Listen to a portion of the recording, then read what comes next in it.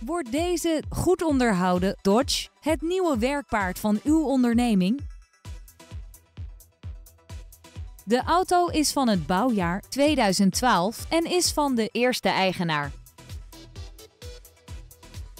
Deze bestelwagen is voorzien van praktische en comfortabele extra's zoals cruise control, comfortstoelen en een navigatiesysteem. Uiteraard wordt deze bestelwagen geleverd met Nationale Autopas.